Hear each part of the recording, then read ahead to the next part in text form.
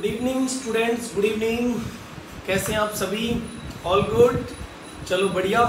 और हम लोग नेशनलिज्म इन इंडिया जो हमारे इंडिया की एक नेशनल मूवमेंट थी यूनाइटेड होकर पूरे मन से लोगों ने भारत को आज़ाद कराने के लिए जो तैयारियाँ शुरू की थी इंडिया को ब्रिटिशर्स की चंगुल से छुड़वाने के लिए जो मूवमेंट शुरू की थी, उस मूवमेंट के हम पार्ट नंबर फोर में आ गए हैं।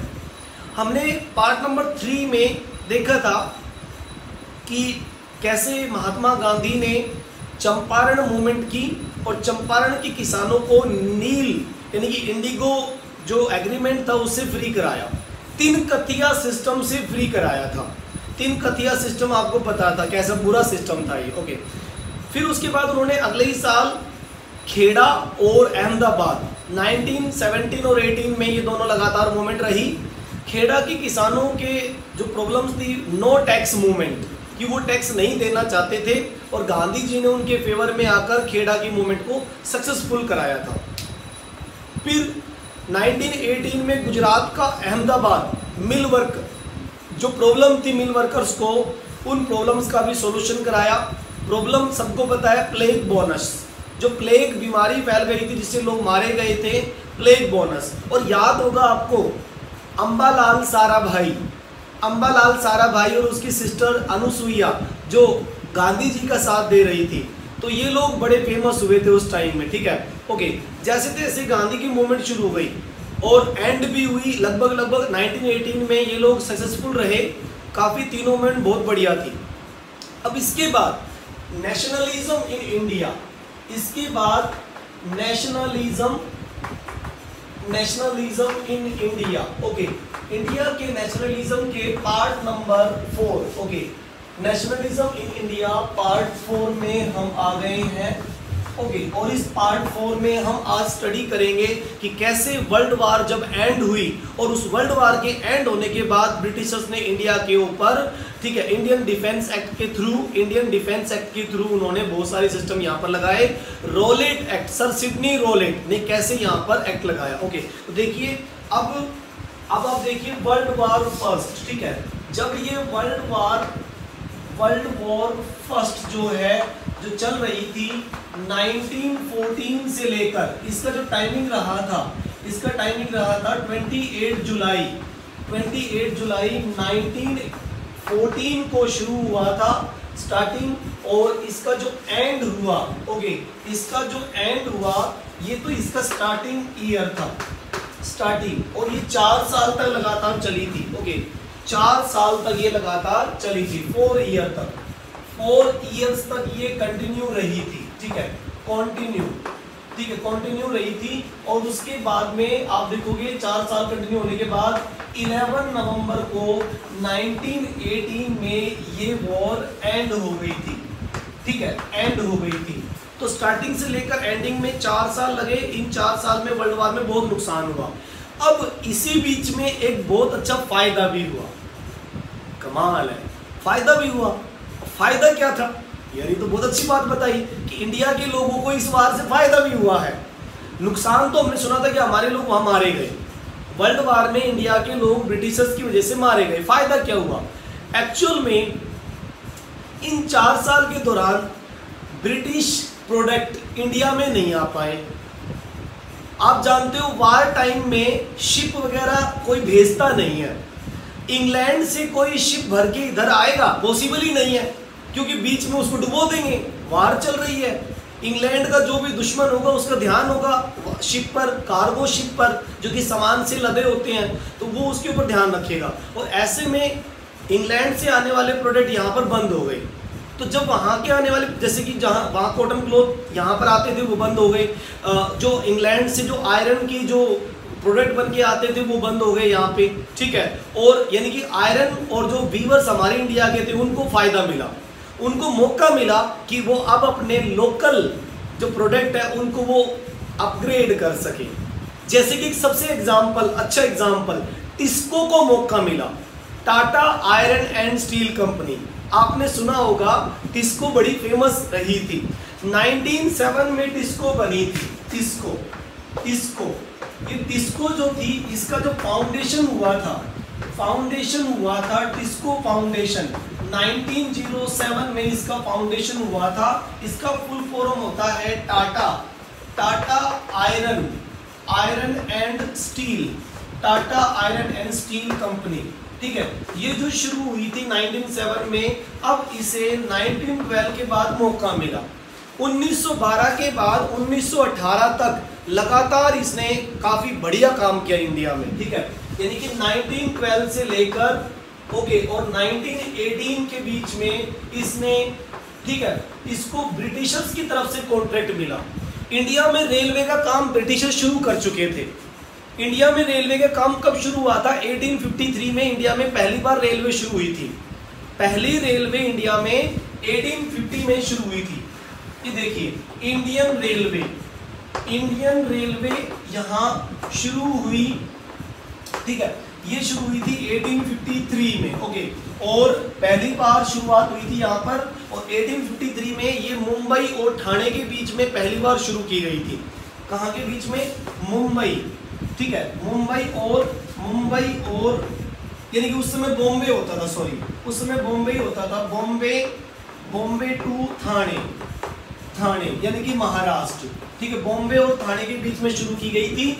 ये रेलवे ट्रैक क्यों बिछाया गया था? ताकि महाराष्ट्र की कॉटन को बॉम्बे पोर्ट तक लाया जा सके। महाराष्ट्र की पूना एरिया में और उसके अंदर जो कॉटन उगती है, उसको हम बाहर ला सकें। इसलिए एक रेलवे ट्रैक यहाँ पर बिछाया गया था। ओके, और वो कितने किलोमीटर का था? 34 किलोमीटर। 34 किलोमीटर का रेलवे ट्रैक। एक रेलवे ट्रैक बिछाया गया था। ये देखिए, लेकिन इस रेलवे ट्रैक को जो शुरू किया था ब्रिटिशर्स ने, ये जो रेलवे ट्रैक यहाँ शुरू किया गया था, सबसे पहले ये ब्रिटिश प्रोडक्ट ही था। ये ब्रिटिश प्रोडक्ट यानी इंग्लैंड से रेल गेज बनाकर लाते थे। इंग्लैंड से रेल गेज बना के लाते रेल की पटरियाँ और फिर इंडिया में लगाते थे वो लोग। लेकिन वर्ल्ड वार शुरू हो गई। अब रेलवे का काम यहाँ चल रहा है। अब उनको रेल गेज चाहिए। तो उन्होंने ब्रिटिशर्स ने टिस्को को कॉन्ट्रैक्ट दे दिया। टिस्को को कॉन्ट्रैक्ट दे दिया। अब टिस्को रेल गेज देगी ब्रिटिशर्स को। तो महाराष्ट्र में, पूरे महाराष्ट्र में रेलवे एक्सपेंस हुआ। फिर नॉर्थ इंडिया की तरफ़ यूपी की तरफ़ रेलवे का एक्सपेंस हुआ। तो सोचो कि आने वाले टाइम में ब्रिटिशर्स की वजह से तो इनको काम मिल गया। काम मिल गया। ओके अब टिस्को न केवल टिस्को न केवल रेलवे के लिए काम कर रही थी, इंडियन रेलवे का कॉन्ट्रैक्ट ठीक है? क्या मिला? Indian railway contract Indian railway Indian railway contract इनको इंडियन रेलवे का कॉन्ट्रैक्ट मिला, ठीक है?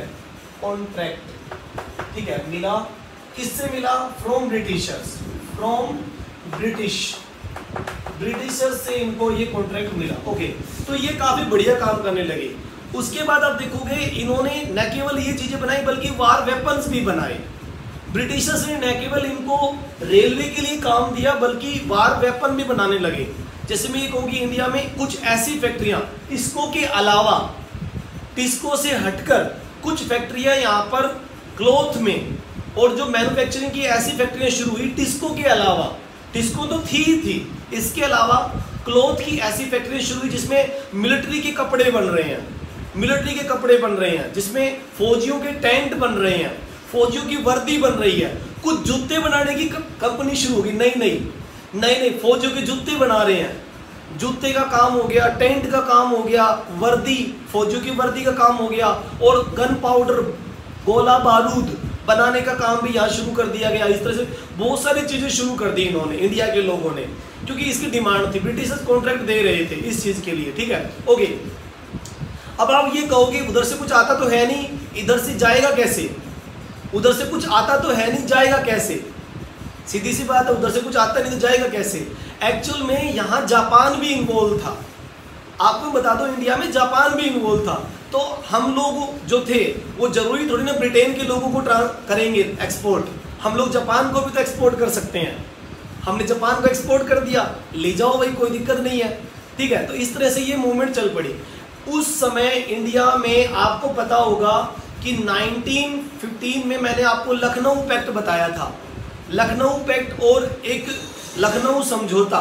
1915 16 में होम रूल लीग और लखनऊ पैक्ट भी आपको पिछले वीडियो मैंने डिस्कस किया था। तो उस समय सारे लोग इकट्ठा होकर एक डिसीज़न लेते हैं। लखनऊ पैक्ट और होम रूल लीग में ये डिसीज़न लिया गया कि स्वदेशी अपनाओ।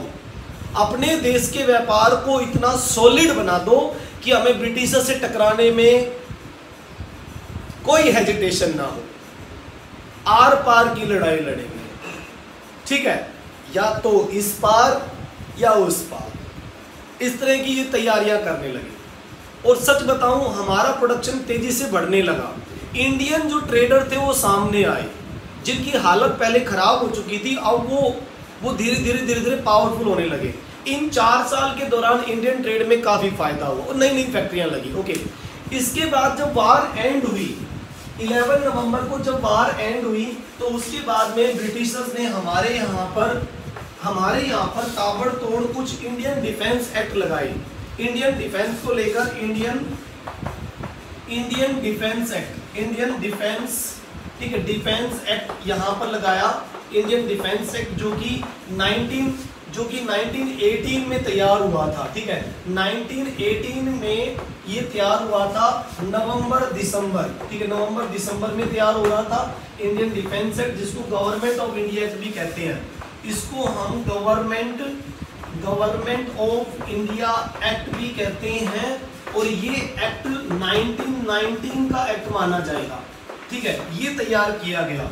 एक्चुअल में ये लोग क्या प्लानिंग बना रहे थे कि इंडिया के लोग ब्रिटिशर्स को ब्रिटिशर्स के अगेंस्ट मूवमेंट कर रहे हैं और उनको सप्रेस करना ज़रूरी है। उनको कंट्रोल करना ज़रूरी है। जैसे कि वर्ल्ड वार के टाइम में महात्मा गांधी ने तीन चार मूवमेंट कर दी थी और भी अलग अलग जगह पर मूवमेंट हुई थी। तो उन सबको कंट्रोल करने के लिए इस प्रकार का एक्ट यानी कि ब्रिटिशर्स को इंडिया पे लगाना पड़ा। ठीक है? इसके लिए 1917 में ही सर सिडनी रोलेट ने एक सेडिशन कमेटी के सामने एक पॉइंट रख दिया था। ओके 1917 में इसी एक्ट के लिए 1917 में एक सेडिशन कमेटी बनी थी। सेडिशन कमेटी ठीक है? सेडिशन कमेटी बनी थी और इस कमेटी का हेड जो था, वो ठीक है, इसका नाम था sir Sidney. Sir Sidney Sidney Rowlatt. ठीक है? रोलेट। Sir Sidney Rowlatt. ठीक है? तो सर सिडनी रोलेट जो थे सेडिशन कमेटी 1917 में जो बनाई गई ये ब्रिटेन में बनी थी, ब्रिटेन में, ठीक है, ये इंग्लैंड में बनी थी तो इस सेडिशन कमेटी के थ्रू इंडिया के अंदर हो रही एक्टिविटी को कंट्रोल करने के लिए इसके पास प्लानिंग थी। सर रोलेट के पास ये प्लानिंग थी कि हम इंडिया की एक्टिविटी को सेडिशन कमेटी बनाकर पूरी तरह रोक सकते हैं। ओके सेडिशन कमेटी बनाकर रोक सकते हैं। ओके अच्छा ऐसा नहीं है कि इंडिया में पहले सेडिशन कमेटी इंग्लैंड की या इंडिया के ऊपर लगी हुई सेडिशन कमेटी नहीं थी। थी पहले इससे पहले सेडिशन कमेटी 1870 में बनाई गई थी। 1870 में सेडिशन कमेटी पहले बनी थी। ठीक है? ये उसी का, उसी उसी सेडिशन कमेटी में न्यू इम्प्रूवमेंट था। पहले एक बार बनी थी। ठीक है? इससे पहले एक बार जो बनी थी वो 1870 में बनी थी। ठीक है? ये ओल्ड थी ओल्ड देखिए।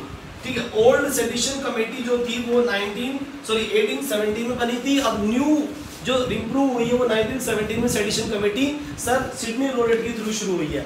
अब इस सेडिशन कमेटी में क्या कह रहा है रोलेट सर रोलेट ये कह रहे हैं सर रोलेट ये कह रहे हैं कि हम इंडियंस जो इंडियंस जो हमारे खिलाफ कुछ भी एक्टिविटी करते हैं, उनको कंट्रोल किया जा सकता है।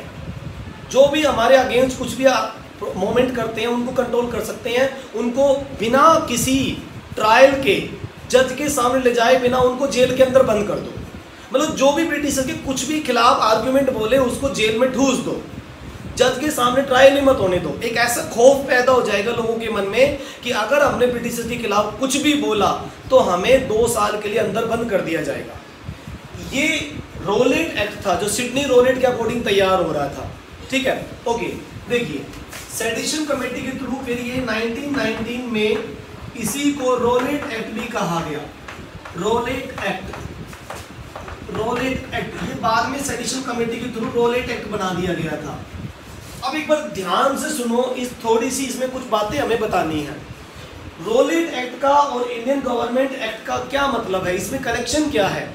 हमने दो बातें लिखी कि गवर्नमेंट ऑफ़ इंडिया इंडिया में लगा और साथ में इन्होंने रोलेट एक्ट भी लगाया। दोनों को एक साथ लगाया। इनमें दोनों में कनेक्शन क्या है?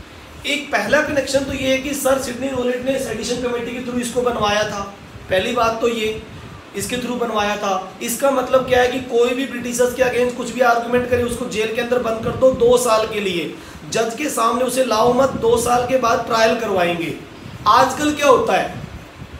आजकल क्या होता है कि जब पुलिस किसी को पकड़ती है तो 24 घंटे के अंदर उसको जज के सामने ले जाना पड़ता है। और जज फिर डिसाइड करेगा कि उसको कितने साल की जेल होगी।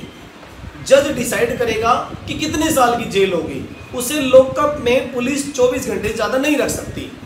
लेकिन इस एक्ट के थ्रू ब्रिटिश पुलिस को यह अधिकार थे कि पकड़े हुए, सस्पेंस में पकड़े हुए आदमी को वो दो साल के लिए अंदर बंद कर सकती है।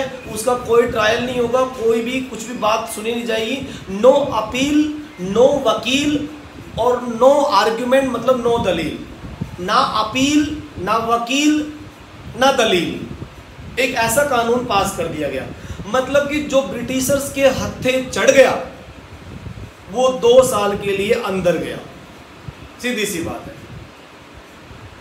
अब एक बार दिमाग लगाओ कि किसी को ब्रिटिशर्स ने सस्पेंस बेस पे पकड़ लिया कि ये ब्रिटिशर्स के अगेंस्ट मान लो कोई कार्रवाई कर रहा है, या कोई षडयंत्र, या कोई ऐसी चीज़ें बोल रहा है, उसको दो साल के लिए अंदर बंद कर दिया।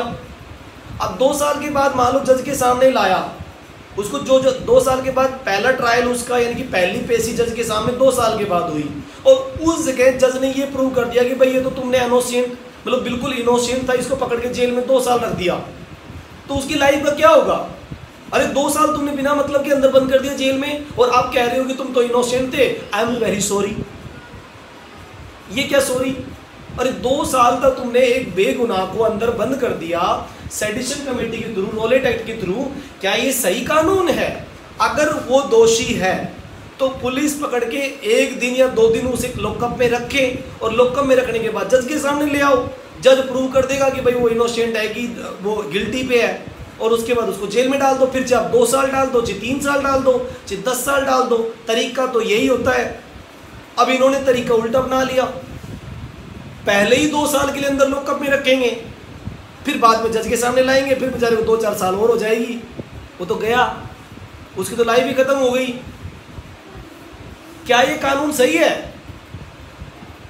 बिल्कुल सही नहीं है। काला कानून है। और काले कानून के लिए काले झंडे। काला कानून है और काले कानून के लिए काले झंडे। सीधी सी बात है। Black law.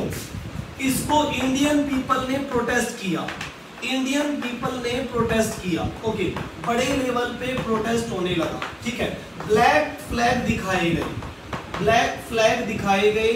ब्लैक फ्लैग दिखाए गए और इसको ब्लैक लॉ कहा गया। ब्लैक लॉ यानी कि काला कानून है ये तो। ये कोई कानून थोड़ी ना है। ये तो काला कानून है। ये तो मनमानी चल रही है। ये तो ब्रिटिशर्स की मनमानी चल रही है। ब्रिटिशर्स डर गए थे या क्या हुआ था? कुछ तो हुआ होगा। एक्चुअल में डरे नहीं थे। बहुत बड़ा प्लान था इनके मन में। आप क्या सोचते कि ब्रिटिशर डर गए थे? डरे नहीं थे। ये कानून डर के नहीं लगाया गया था, दिमाग लगा के लगाया गया था। अब वो दिमाग क्या था? वो दिमाग देखो। ब्रिटिशर जब वर्ल्ड वार फ़र्स्ट में लड़े तो बहुत पैसा खर्च हुआ। आपको मैंने बताया था कि जर्मनी ने इंग्लैंड की, रशिया की और सर्बिया जैसे कंट्री की हालत खराब कर दी थी पहले तीन साल में। आपको पता होगा, जर्मनी के पास टैंक्स वगैरह और इतने सारे हथियार थे मॉडर्न वेपन्स के साथ जर्मनी लड़ा था। और इंग्लैंड की, रशिया की तो बहुत बुरी हालत हो गई थी। इंग्लैंड के बहुत सारे पैसे खर्च हो गए, बहुत सारे लोग मारे गए इंडियन सोल्जर भी मारे गए और ब्रिटिश सोल्जर भी मारे गए और बहुत बुरी हालत हो गई। अब वर्ल्ड वार एंड हो गई। कुछ कंपनसेशन तो आपको पता है जर्मनी के ऊपर वर्साई ट्रीटी लगा के पूरा हो गया था। आपको याद होगा कि हमने जर्मनी के ऊपर वर्साई ट्रीटी लगाई वुड्रो विल्सन एग्रीमेंट हुए थे और जर्मनी के ऊपर बहुत सारी, यानी कि 6.5 लाख पाउंड उसको देने पड़े एलाइज पावर को। कुछ खर्चा तो ब्रिटेन ने उधर से पूरा कर लिया। अब बाकी खर्चा कहाँ से पूरा होगा? इंडिया नहीं समझे। अब समझ में आएगा। अब समझ में, बाकी का खर्चा कौन पूरा करेगा भाई? इंडिया। क्योंकि कॉलोनीज से ही वो लूटेंगे। कॉलोनीज कॉलोनीज से लूटेंगे। तो ये है प्लानिंग लूटने की। गवर्नमेंट ऑफ़ इंडिया एक्ट अब देखो क्या कनेक्शन है इसका। गवर्नमेंट ऑफ़ इंडिया जब इंडिया में लगाया तो बहुत बड़े लेवल पे टैक्स इंक्रीज किए गए। इंडिया के अंदर ऑलरेडी बहुत सारे टैक्स थे। पहली बार इनकम टैक्स शुरू हुआ। आजकल जो आप इनकम टैक्स देख रहे हो, पहले उस समय इस एक्ट से पहले लैंड टैक्स होता था हाउस टैक्स होता था और अदर टैक्सेस होते थे, लेकिन इनकम टैक्स नहीं होता था। यहाँ पहली बार इनकम पे भी टैक्स लगा। ओके दूसरा, इस एक्ट के थ्रू ये लिखा गया था कि कोई भी इस एक्ट का विरोध करे टैक्स का प्रोटेस्ट करे ब्रिटिशर्स के खिलाफ कोई भी आर्गुमेंट बोले तो उसको छोड़ा नहीं जाएगा।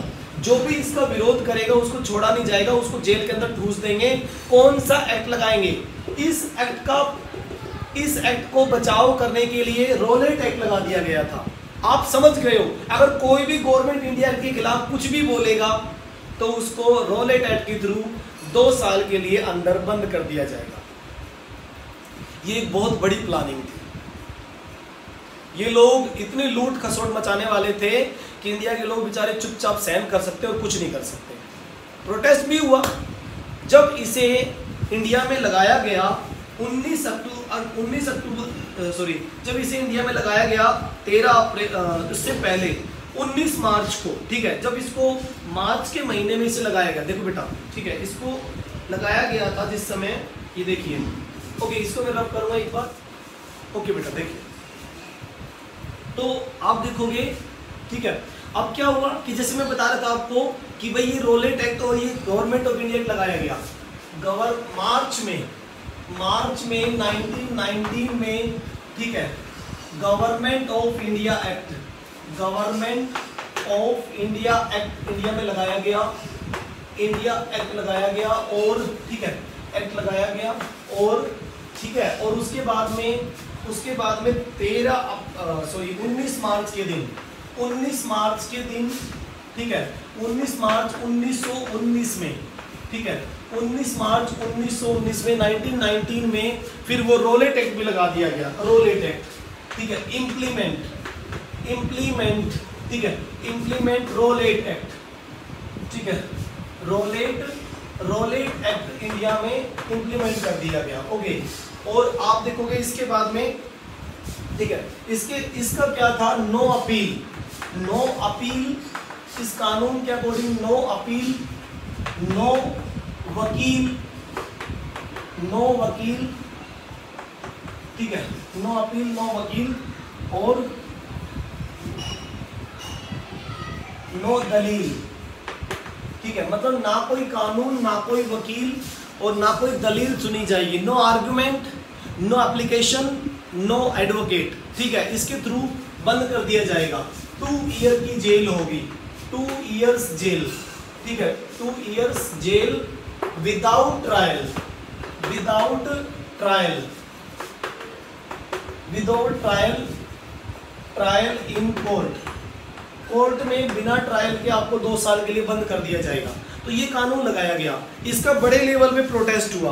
पंजाब जैसे लोगों ने तेरह, जब 19 मार्च को शुरू किया गया तो इसका बड़े लेवल पे 6 अप्रैल को, ठीक है 6 अप्रैल को 1919 में इसका बहुत बड़े लेवल पे प्रोटेस्ट हुआ। इसका बहुत बड़े लेवल पे 6 अप्रैल को 1919 में महात्मा गांधी और जो कांग्रेसी लीडर थे, उन्होंने इसका प्रोटेस्ट किया। एक्सट्रीमिस्ट लीडर और मॉडरेट लीडर मैंने बताया था लखनऊ पैक्ट के दौरान वो इकट्ठे हो चुके थे और मुस्लिम लीग और बाकी हिंदू महासभा सब लोग इकट्ठे हो चुके थे। तो सबने मिलकर गांधी जी के डायरेक्शन में पूरे देश में एक बड़ी हड़ताल का आयोजन किया। ए बिग स्ट्राइक कि हम जो गवर्नमेंट ऑफ़ इंडिया एक्ट है और इसके रोलेट एक्ट के थ्रू हम विरोध करते हैं। ठीक है? ओके ए बिग हड़ताल a big strike a big strike ठीक है?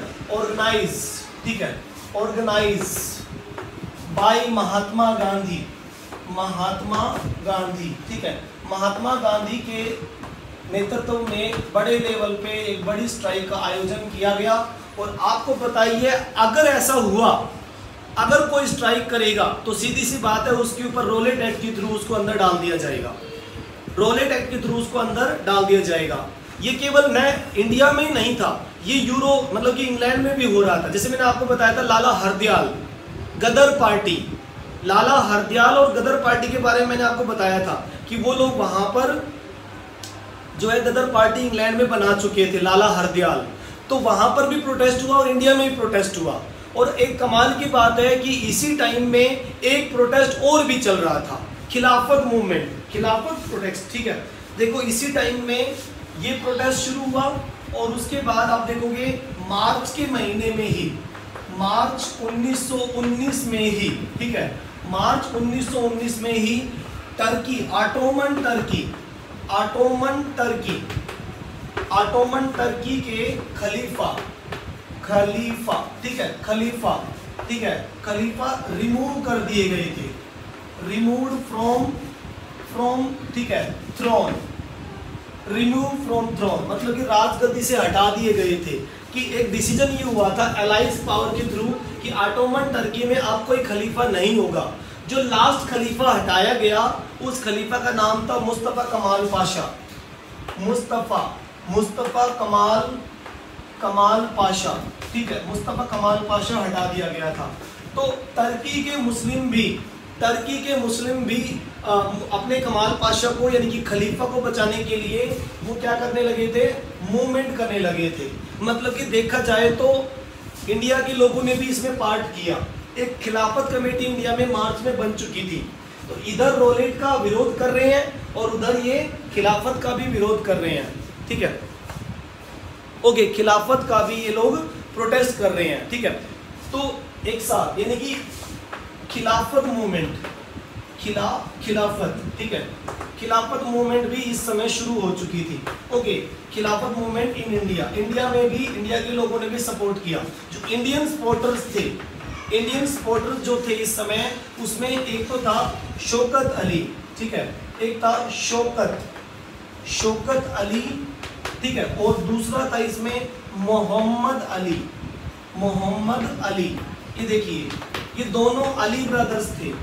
अली ब्रदर्स ठीक है? ये इसका प्रोटेस्ट कर रहे थे। लाहौर में एक मीटिंग हुई थी। उस लाहौर की मीटिंग का अकॉर्डिंग ये लोग प्रोटेस्ट कर रहे थे। इंडियन सपोर्टर जो थे, वो इसको सपोर्ट कर रहे थे। ओके तो न केवल न केवल गवर्नमेंट ऑफ़ इंडिया एक्ट का प्रोटेस्ट चल रहा था, साथ में रोलेट का भी प्रोटेस्ट चल रहा था। और 6 अप्रैल को महात्मा गांधी ने एक बहुत बड़ी स्ट्राइक ऑर्गेनाइज कर दी थी कि रोलेट एक्ट के खिलाफ हम लोग प्रोटेस्ट करेंगे, ठीक है? और साथ में इंडिया के मुस्लिम भी इस ऑटोमन टर्की के खलीफा मूवमेंट में ज्वाइन हो गए थे। चीज़ें बहुत बड़ी होने वाली हैं। अगर दो मूवमेंट एक साथ चलेगी तो कंट्रोल करना बड़ा मुश्किल होगा। अगर खिलाफत और रोलेट के अगेंस्ट और गवर्नमेंट ऑफ़ इंडिया के अगेंस्ट एक साथ मूवमेंट चलेगी तो बहुत बड़ी प्रॉब्लम होने वाली है।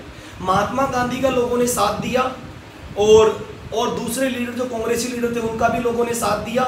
सब लोग एक साथ आए और एक साथ मिलकर हाँ ठीक है, एक साथ मिलकर, एक साथ मिलकर वो प्रोटेस्ट करने लगे। ओके ये देखिए, एक साथ मिलकर प्रोटेस्ट करने लगे। ठीक है, एक साथ मिलकर प्रोटेस्ट करने लगे। ओके तो फिर ये प्रोटेस्ट बड़े लेवल पे हुआ। अब एक घटना और हो गई। महात्मा गांधी ने तो स्ट्राइक को ऑर्गेनाइज कर ही दिया।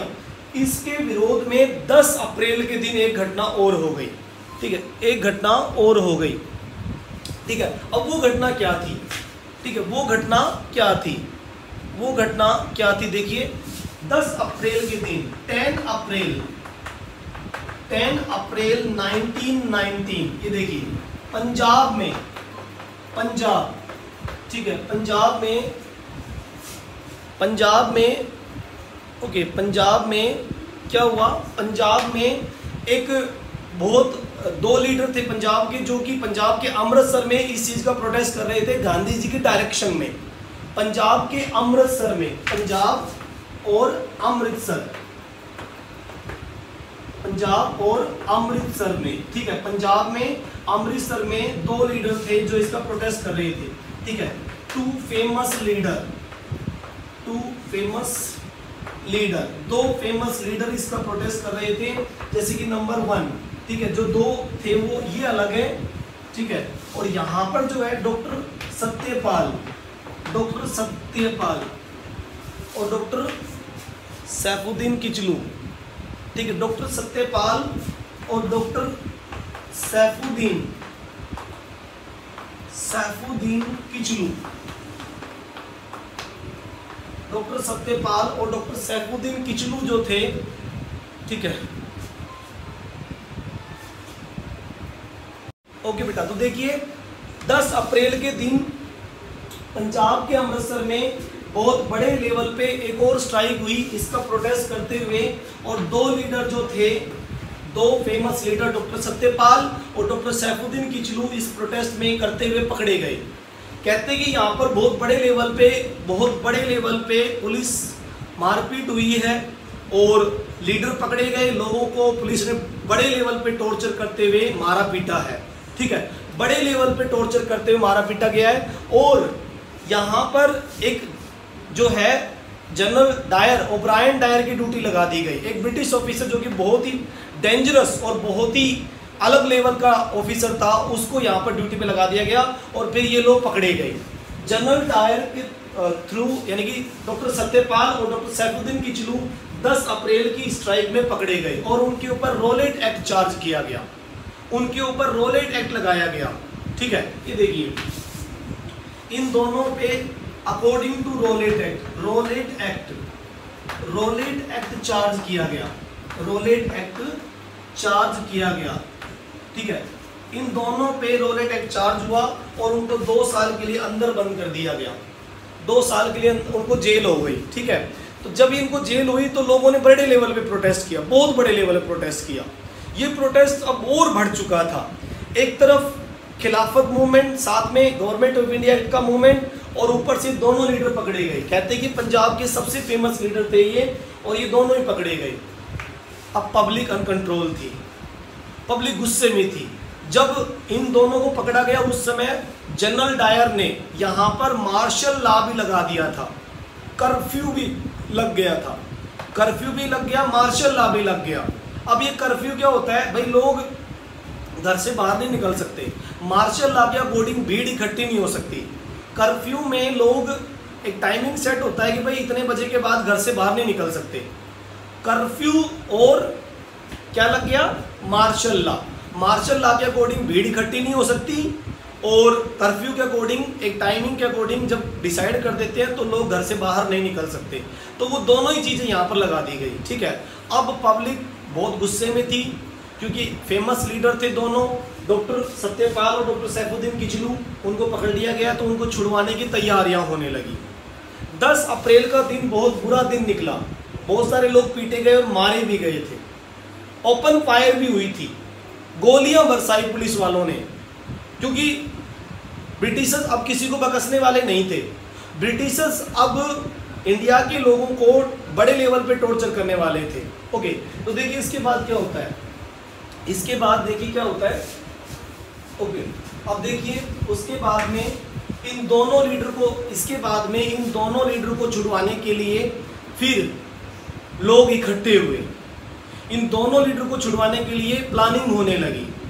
दिन चुना गया, तीन दिन के बाद।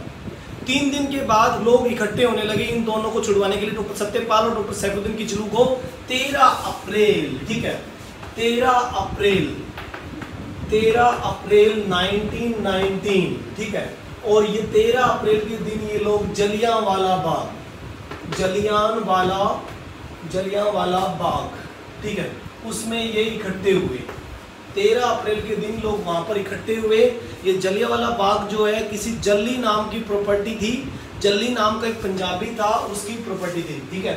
A property a property of property of ठीक है, जल्ली। जल्ली ठीक है जल्ली पंजाबी। जल्ली पंजाबी की ये प्रॉपर्टी थी जहाँ पर लोग इकट्ठा होने थे। तेरह अप्रैल के दिन ये दिन क्यों चुना गया? क्योंकि इस दिन लोग क्योंकि इस दिन बैसाखी मेला होता था, ठीक है? बैसाखी मेला। उस दिन बैसाख का महीना होता है, बैसाखी मेला। ओके, बैसाखी मेला ये लोग उस दिन करते हैं। और उस बैसाखी मेला में ये हर से हर साल मनाया जाता है। तेरह अप्रैल के दिन ये बैसाखी मेला होना था पंजाब में। ठीक है, अमृतसर। अमृतसर, ठीक है, अमृतसर अमृतसर, पंजाब। ठीक है, यहाँ पर ये इतनी तारीख को ये बैसाखी मेला हुआ। इस मेले में हज़ारों, यानी कि ये मान के चलो कि इसमें आठ दस हज़ार लोग इसमें हमेशा इस मेले में होते थे। ये एक प्लेग्राउंड की शेप में था। ठीक है? और यहाँ पर लोग इकट्ठे हो गए। यहाँ पर इकट्ठे हो गए और प्लानिंग ये थी कि इसी मेले में हम लोग, ठीक है?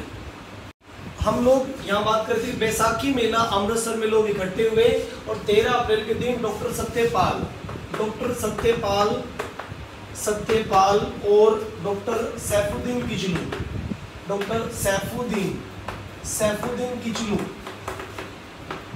किचलू को निकालने की तैयारी थी। इन दोनों को हम लोग वहाँ छुड़वाना चाहते थे। तो इस इस मेले की सहायता से ये पॉसिबल हो सकता था, ठीक है? लेकिन ये कहा जाता है कि जनरल डायर को इस बारे में पता लग गया कि लोग 13 अप्रैल के दिन यहाँ इकट्ठे हो रहे हैं और डॉक्टर सत्यपाल और डॉक्टर सैफुद्दीन किचलू को निकलवाएँगे यहाँ से, ठीक है? उस समय ऑफिसर 13 अप्रैल के दिन पंजाब पंजाब में पंजाब अमृतसर अमृतसर में, ठीक है, अमृतसर में उस समय जो ब्रिटिश ऑफिसर था, ब्रिटिश ऑफिसर ठीक है, ब्रिटिश ऑफिसर यानी कि ब्रिटिश जनरल ब्रिटिश जनरल ठीक है, ब्रिटिश जनरल जो यहाँ पर थे, उनका नाम था जनरल ओब्रायन ठीक है ओब्रायन डायर ठीक है जनरल ओब्रायन डायर ने ये कमांड संभाली।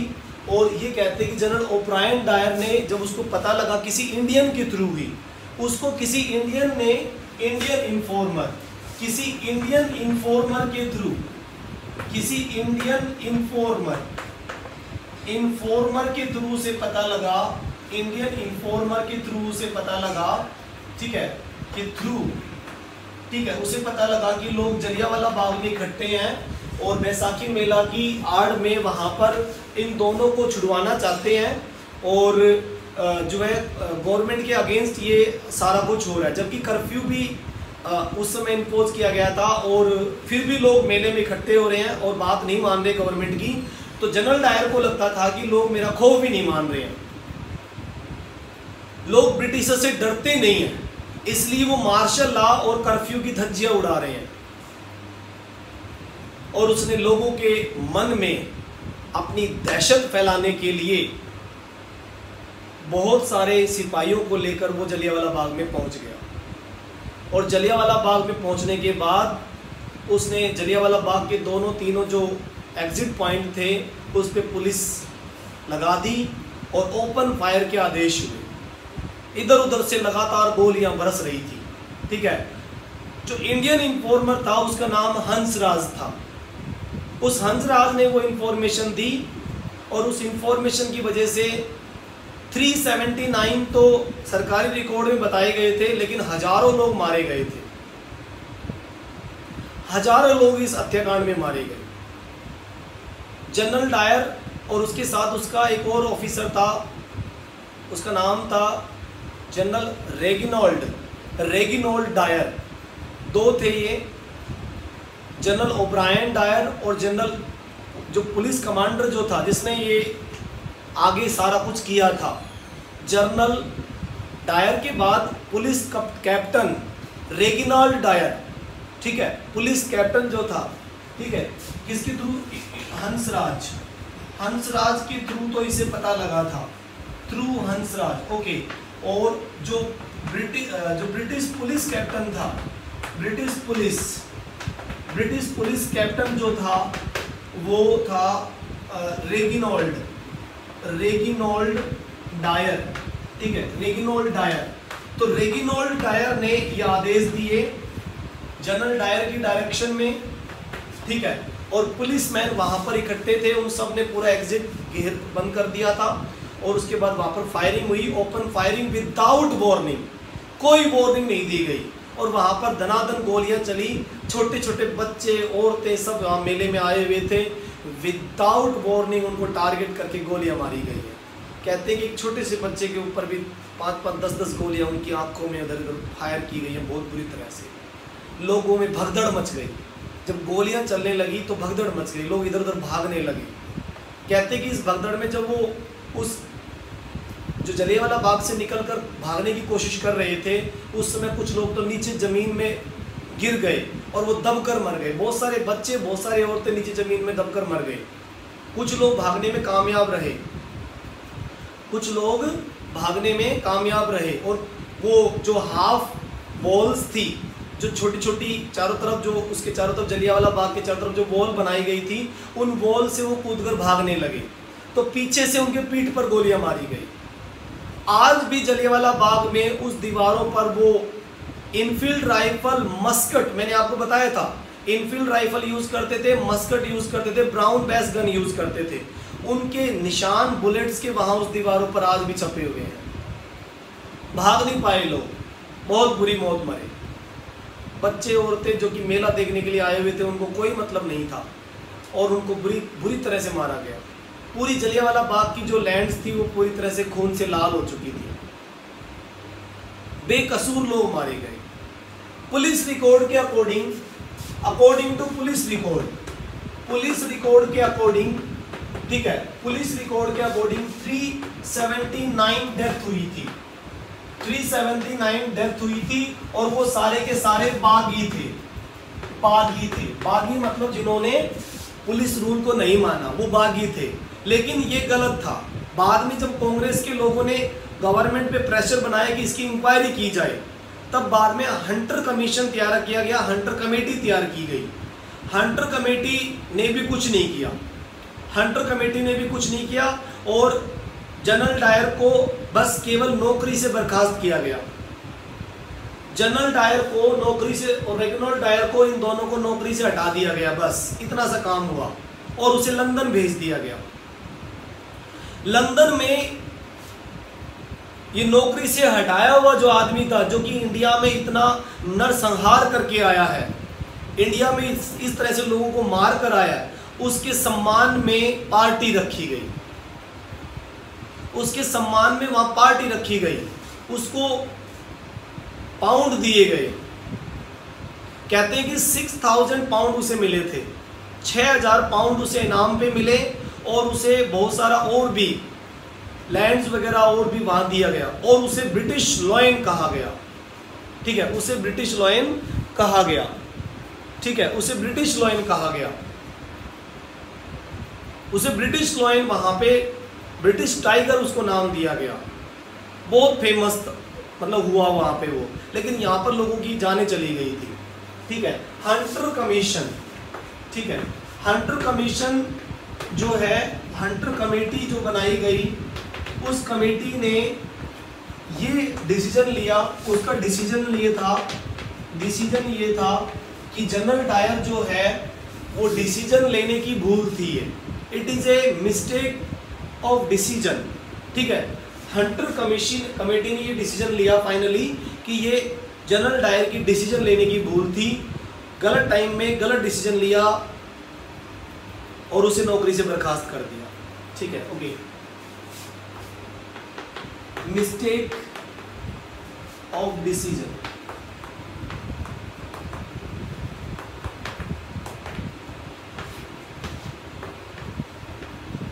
it is only a mistake of decision. ठीक है? It is only a mistake of decision only ठीक है? तो ये हुआ। आपको क्या लगता है कि इतनी बुरी हालत में लोग मारे गए और फिर बाद में जनरल डायर ने क्या किया कि लोगों को घसीट घसीट कर वहाँ एक खाली कुआ था, एक खाली पड़ा हुआ कुआ, उसके अंदर औरतों और बच्चों को घसीट कर उसमें डाल दिया गया। मिट्टी डाल दी गई ऊपर। कांटेदार झाड़ियों से उसे बंद कर दिया गया, सील कर दिया गया ताकि उसे कोई खोल कर देख ना सके। पूरे जलियावाला बाग की मिट्टी लाल हो गई थी। जिन लोगों के परिजन मारे गए थे, जिन लोगों के रिलेटिव मारे गए थे, उनको तो पता था कि ये गलत हुआ है। जनरल डायर ने गलत किया है। ओके और वो चाहते थे कि एक इंक्वायरी बैठे जिससे जनरल डायर के ऊपर किया जाए। लेकिन वो बैठ नहीं सकती थी, आपको बताया। ब्रिटिशर्स पूरी तरह से सपोर्ट कर रहे थे। और कोई इंडियन जज इसकी जजमेंट नहीं कर सकता था। आपको पता है इल्बर्ट बिल पास नहीं हो पाया था। मैंने आपको बताया था। 1883 में अगर इल्बर्ट बिल पास हो जाता तो एक इंडियन जज जनरल डायर की जजमेंट कर रहा होता। क्योंकि हमें भी यूरोपियन की जजमेंट करने के अधिकार मिल जाते। ऐसा हो नहीं पाया।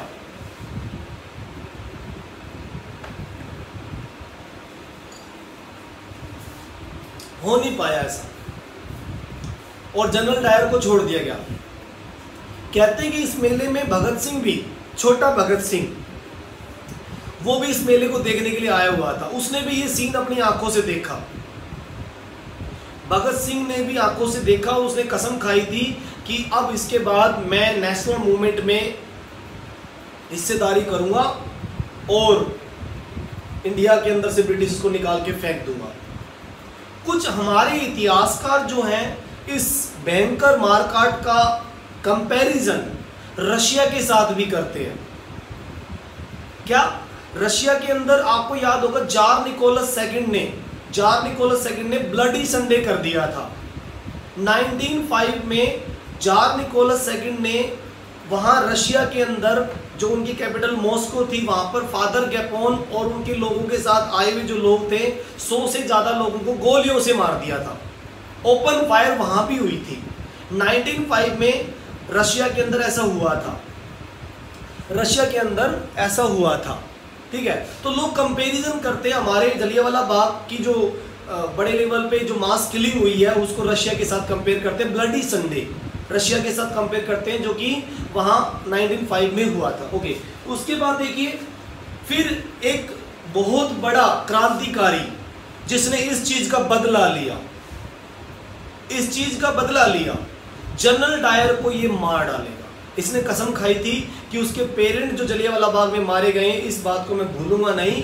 और वो जनरल डायर को उद्धम सिंह, शहीद उद्धम सिंह, ठीक है? शहीद शहीद उद्धम सिंह। उद्धम सिंह ने कसम खाई कि वो जनरल डायर को मार डालेगा और फाइनली उसने 1940 में जनरल डायर को मर्डर किया। General Dyer general Dyer. ठीक है को मर्डर कर दिया। Murder in London general Dyer को मा, मार दिया उसने। यही होना चाहिए था उसके साथ। उसने बच्चों औरतों को भी नहीं छोड़ा। लोगों के मन में खौफ पैदा करने के लिए उसने ये सब किया। क्या इंडिया के लोग इसके बाद इंडियन गवर्नमेंट को लाइक करेंगे? ब्रिटिश गवर्नमेंट को लाइक करेंगे? No no. जो ब्रिटिशर्स की एक वेल एजुकेटेड जो इमेज थी, वो खत्म हो गई है। उन्होंने इंडियंस को बड़े बड़े टाइटल दिए थे। जैसे महात्मा गांधी को उन्होंने केसर हिंद का टाइटल दिया था। महात्मा गांधी ने प्रोटेस्ट करते हुए फेंक दिया। ले जाओ तुम्हारे टाइटल हमें नहीं चाहिए तुम्हारे टाइटल अगर इसी तरह से तुम लोग करते हो इंडिया के अंदर नरसंहार, हज़ारों लोग मार दिए उन लोगों ने। वन थाउज़ेंड से भी ज़्यादा लोग मारे गए थे, बच्चे औरतें ज़्यादा थे। ये आइडिया लगाया जाता है कि कम से कम 800 800 तो छोटे छोटे बच्चे और औरतें थी। 800 बच्चे और औरतें मार दिए उन्होंने। और 200 के लगभग मैंस वगैरह मारे गए। अच्छा नहीं किया उन्होंने। रविंद्रनाथ टैगोर ने भी ब्रिटिशर्स का दिया हुआ टाइटल लौटा दिया। ब्रिटिशर्स ने उनको सर का टाइटल दिया था। क्योंकि रविन्द्रनाथ टैगोर बहुत पढ़े लिखे थे। एक टीचर थे एजुकेटेड टीचर थे। उन्होंने भी उसको लौटा दिया। हमें नहीं चाहिए तुम्हारे टाइटल हर जगह पर प्रोटेस्ट होने लगा। जलियावाला बाग के हत्याकांड के बाद 13 अप्रैल के बाद 13 अप्रैल के बाद अलग अलग जगह पर घटनाएँ हुई। 13 अप्रैल के बाद 17 अप्रैल को 20 अप्रैल को 25 अप्रैल को, मई के महीने भी अलग अलग जगह पर घटनाएँ हुई। लोग गुस्से में थे। ब्रिटिशर्स को देखते उनका गुस्सा बढ़ जाता था और वो जो भी ब्रिटिश मिलता, उसको वो जलाने, मारने, काटने पर तैयार हो जाते। बहुत सारी जगह पर पुलिस चौकियाँ जलाई गई। इंडियन पीपल बहुत गुस्से में थे। जलियावाला बाग की वजह से वो नोचने को तैयार हो रहे थे कि इंडियन पीपल को इनको गला काट के फेंक दो इनका, कि ये इंडिया के अंदर रहने के लायक ही नहीं है। इनको निकाल के बाहर फेंको। जगह जगह पर घटनाएँ हुई। पुलिस चौकियाँ जलाई गई, लोगों को सरेआम जलाया जाने लगा। छुटपुट घटनाएँ 1919 के लास्ट तक रही। महात्मा गांधी ये कह रहे थे कि इससे काम नहीं चलेगा। इससे आप ब्रिटिशर्स को मार रहे हो, ब्रिटिश आपको मार रही हैं। क्या जब आप ब्रिटिशर्स को मारोगे तो पुलिस वाले और नहीं आएँगे और उस फैमिली को खत्म कर देंगे? इस तरह से काम नहीं चलेगा। हमें एक बहुत बड़ी ब्रॉड बेस मूवमेंट करनी होगी। जलियावाला बाग के विरोध में और रोलेट एक्ट के विरोध में हमें बहुत बड़ी मूवमेंट करनी होगी। तभी ब्रिटिशर्स को निकाला जा सकता है। नहीं तो कोई तरीका नहीं है। और फिर वो मूवमेंट हुई। इतनी बड़ी मूवमेंट हुई जिसके बाद ब्रिटिशर्स के पसीने छूट गए। खिलाफत आंदोलन और असहयोग आंदोलन एक साथ हुए। महात्मा गांधी ने इतनी बड़ी मूवमेंट खड़ी कर दी क्योंकि ब्रिटिशर्स को समझ नहीं आया कि कैसे कंट्रोल किया जाए। वो तो अचानक वो बंद हो गई और उसके बाद में कंट्रोल नहीं कर पाए। ब्रिटिशर्स कंट्रोल नहीं कर पाए थे नॉन कोऑपरेशन मूवमेंट और इसको। जलियावाला बाग इंडिया के हिस्ट्री में एक बहुत बड़ा इवेंट था। लोग आज भी जलियावाला बाग को याद करते हैं, उनके परिजन मारे गए, बहुत बुरी हालात में मारे गए। तेरह अप्रैल के दिन, हर दिन लोग जब भी ये आता है तो लोग इसका शोक दिवस मनाते हैं। अमृतसर के लोग आज भी इसको शोक दिवस के रूप में मनाते हैं। तो हमारी इंडियन हिस्ट्री में जलियावाला बाग बहुत अच्छा था, बहुत मतलब बहुत एक एक अच्छा की अच्छा अच्छा नहीं है मतलब कि मतलब एक बहुत ही बुरी एक याद है हमारे लिए, जो जनरल डायर की वजह से, जनरल रेगिनाल डायर की वजह से हुआ और फिर उनको सज़ा भी नहीं हुई। कांग्रेस भी उनको सज़ा नहीं दिला पाई। ठीक है? लेकिन सज़ा उसको बाद में मिली। उद्धम सिंह के थ्रू मिली। शहीद उद्धम सिंह के थ्रू उसको मिली। फिर बाद में उद्धम सिंह को पकड़ लिया गया, अंग्रेज़ों ने फांसी दे दी। लेकिन उधम सिंह अपना काम पूरा कर चुका था। अंग्रेज़, अंग्रेज़ों ने बाद में उद्धम सिंह को मार दिया। ओके, इस तरह से आज हमने इस वीडियो में देखा कि वर्ल्ड वार के बाद इंडिया के अंदर कैसे गवर्नमेंट ऑफ़ इंडिया और रोलेट एक्ट हुआ और रोलेट एक्ट के बाद जलियावाला बाग हत्याकांड हुआ यहाँ पर, जो कि नहीं होना चाहिए था और बहुत बुरी यादें इसके साथ जुड़ी हुई है। नेक्स्ट मूवमेंट बहुत इंपॉर्टेंट मूवमेंट है और वो अगले वीडियो हम डिस्कशन करेंगे non cooperation movement and Khilafat movement non cooperation movement किस किस जगह पर गांधी जी के नाम पर शुरू हुई। कैसे अवध के लोग सामने आए, दिल्ली के लोग सामने आए और फिर गुडेन की पहाड़ियाँ आंध्र प्रदेश में उन्होंने काम किया, आसाम के अंदर प्लांटेशन वर्कर ने गांधी जी का साथ दिया, तमिलनाडु और आंध्र प्रदेश में भी लोगों ने साथ दिया।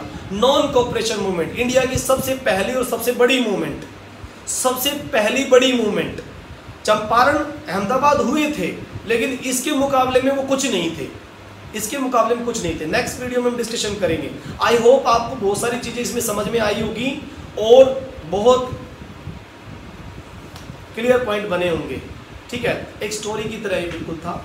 ओके बाय बेटा, आज के लिए इतना ही। ठीक है? Thank you have a nice